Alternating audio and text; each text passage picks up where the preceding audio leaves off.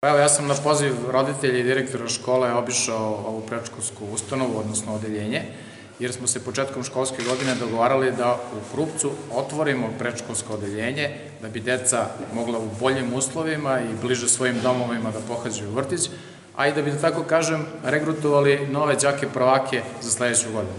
Krupac i škola u Krupcu, u Krupcu ima 62 đaka, ima đake od drugog do četvrtog razreda, ali nema u prvom.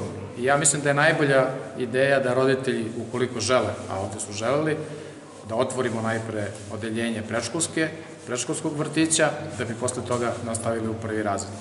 Kao što vidite, škola je dobro uređena, u toku jesene, jesene i leta smo uredili dvorište škole, prilaze, asfaltirali dvorište, uredili neke rekvizite, toplo je i zaista mislim da nema razloga da deca iz Krupca idu u Pirot kad već ovde postoje uslove za sve. I vrlo mi je drago da smo videli decu koja pohađaju ovaj vrtić i čak i mlađu decu koja su na, ovaj, odgovorila da bi volila da ovde idu, a naravno uz saglasnost roditelji. Roditelji su zadovoljni, tako da i mi i ja iz lokalne samouprave smo veoma zadovoljni kad to vidimo.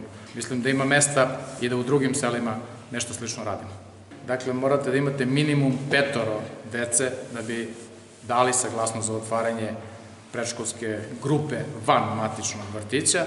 To su upravo ljudi iz ovog sela uradili i zajedno sa direktorom škole i sa školom smo zatražili saglasnost školske uprave iz Niša, dobili tu saglasnost i onda mi iz vrtića odredili osobu, odnosno vaspitačicu koja će sa ovom decom da radi.